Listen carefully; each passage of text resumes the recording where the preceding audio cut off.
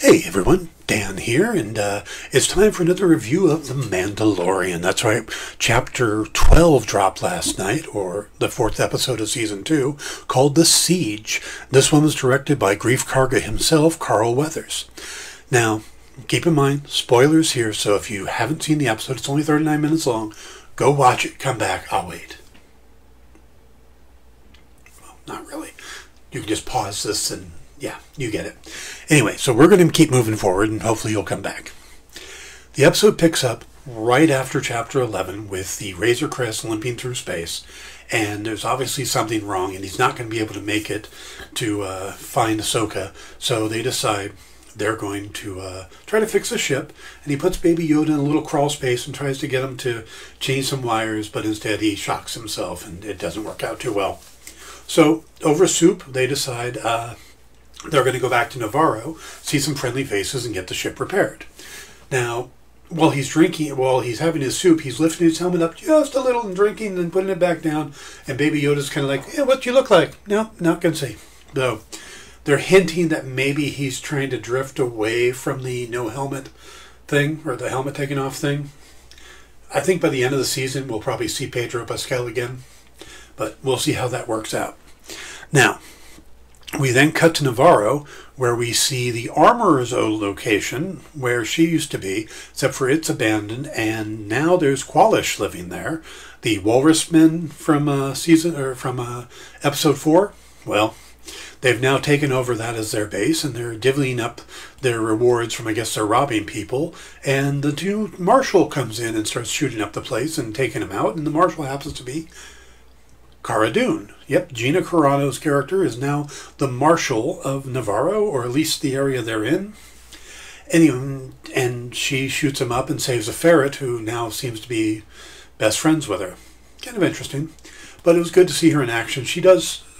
The fight scene is really well done, and I think that's where Carl excels as a director because Carl Weathers. I've never seen him as a director before. I don't think I've ever seen any of his work as a director. But he does a really great job in this episode, just directing the action. It's a lot of action. It's fast paced, and it's really good. So I expect we'll see more of him in future seasons. Now, we don't get Ahsoka Tano in this whole episode, and most people knew that we weren't because this wasn't. You know, they just teased her last, so they give us a time, and then and the fact that next episode is uh, going to be directed by Dave Filoni, who created Ahsoka Tano, seemed kind of obvious that we wouldn't get her till episode five. So Mando shows up on Navarro. Greef greets him. Greef and Cara greet him. They uh, put his best men onto uh, fixing the ship, and one of them turns around, gives that side eye look, and immediately we know he's going to be a saboteur. He's going to do something, probably putting a tracking beacon on the uh, Razor Crest. And then we move into the city. We see the city has changed greatly. It's not just this little ghost town uh, western thing anymore. It's starting to become a little city. There's markets and more color and people running about, and it's kind of becoming a little trade town. Um, and there's even a statue in the middle of town to IG 11 who helped save them. So that's kind of cool. And we go into what was the bar, and it's now a school with a uh, protocol droid teaching and they put uh, Baby Yoda in there so that uh, they could go talk business. And we see him use his force power for uh, uh for the first time, I think, this season, where he uh, steals another kid's macaroons. Again, food related. What is this little guy's problem? Everything seems to be gimme, gimme, gimme, gimme, gimme, gimme, gimme, gimme. Anyway, so they go off to talk, and we get to see another character from the first episode. Uh, the Mythrol, uh, played by Horatio Sanz, uh, has returned, and I don't know if we ever got his name. Don't remember getting his name. Anyway, we probably did in the first episode, but they just released him as Mythrol, and uh, he's now working for Greef and working off his debt. And the there turns out there is a uh, supposed to be an abandoned uh, Empire base that they need to clear out and get rid of all the weapons and stuff or destroy so that, you know, it makes the whole planet Navarro safe. So they say, you know, hey, we'll repair your ship if you'll come help us do this. We need your help. And of course, Mando's a big-hearted guy, and he uh, goes with them, and they take a speeder out there, and they, you know, they're trying to get in, and Mando flies up and knocks a stormtrooper off and falls to the ground, and then they go up in the elevator, and there's a whole scene where they're basically infiltrating this base, thinking it's an empty base, and they're going to go in and set the reactor off to explode it. Well, the problem is it's not an abandoned base. It's actually a cloning facility.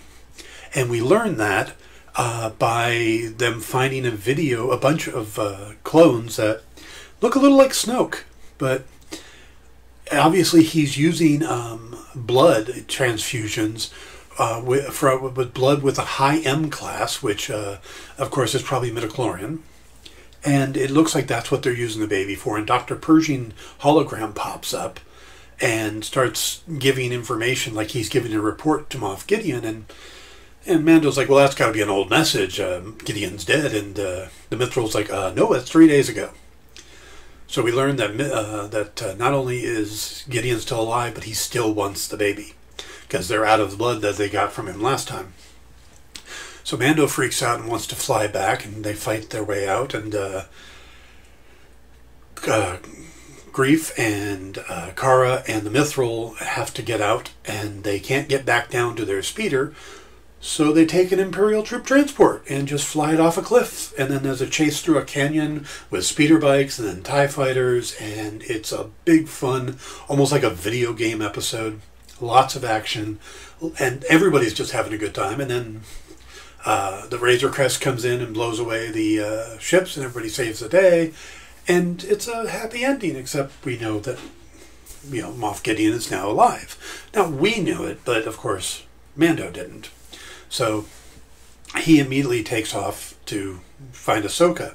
And that's when we learn, we cut, oh, that's when we uh, find out that um, the rebels have come, or the, the, the Alliance are coming to uh, check out what's the disturbance, and they know that the Razor Crest was there, and Greef just pulls bulls them, going, "No, don't know what you're talking about, and don't know why that place blew up. Must have been a reactor uh, incident."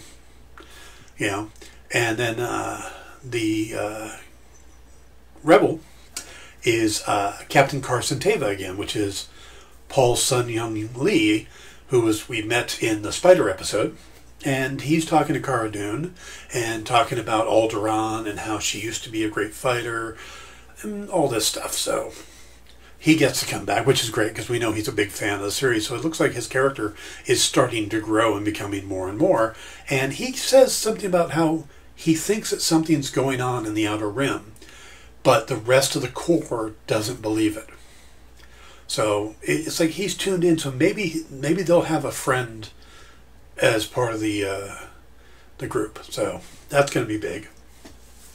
Then we cut away to uh, an uh, Imperial starship, not quite a star destroyer, but a big ship. And I know it's one. I don't know the name of it, but it was introduced in the animated series. So I'm sure that's going to pop. Other people will pop up with that. You can put it in the comments below if you know what it is. Uh, and we first see uh, um, a comms officer, and it's played by Katy O'Brian. Now, Katie is interesting because she's been on Black Lightning, and she was on Agents of S.H.I.E.L.D. And of course, we seem to be pulling all the Agents of S.H.I.E.L.D. people. So here's another Agents of S.H.I.E.L.D. Uh, actor ref, uh, appearance. Anyway, and she uh, find we get a hologram appearance from the guy that prepared the Razor Crest saying, yes, we put the tracking beacon and he's got the child. So she goes and reports to Moff Gideon, and we see Moff Gideon has these rows of, and it's hard to tell exactly what they are. They might be like battle droids, they could be clone troopers that they're just wanting to inject with uh, midichlorian blood.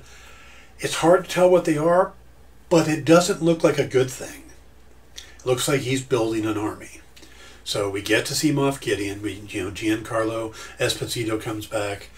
Uh, so it, it's kind of an interesting episode where it looks like it's just going to be a filler in the beginning. It definitely shifts and becomes an important episode because Mando finds out Karga's alive, or um, that uh, Gideon's alive. We find out that he still wants. Sorry about that weird cut, but having a lot of issues with this uh, particular recording. I actually recorded it twice, and both times the ending got cut off, and the sound wasn't mixing up. That's why you see uh, images through all this and not myself. But just to wrap this up, real good episode. Really curious where this is going to go. It looks like there's a bigger thing going on here. We uh, really get a chance to see um, what Gideon's plan is starting to be. He's building an army.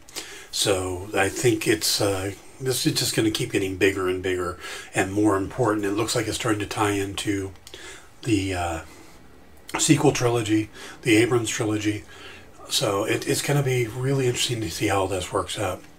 Now, uh, one thing that came up while I was recording it is I guess there was an error, and uh, there's actually a scene that has one of the uh, crew members in the background. I'm putting the picture up right now, and you can see a guy in like jeans and a t-shirt standing in the back there.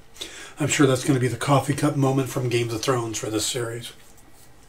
But let me just go ahead and wrap this up here. I hope you all enjoyed this me uh, review please hit the like and subscribe buttons, uh, especially if you uh, want to see what I do next week. Uh, subscribe button will let you know when the new one comes up. Thanksgiving this week. I hope everybody has a good holiday if you are in the U.S. Uh, in Canada, you've already had Thanksgiving. But everyone, please be safe. Take care of yourselves. Take care of those you love. And uh, I'll talk to you soon. Have a good one.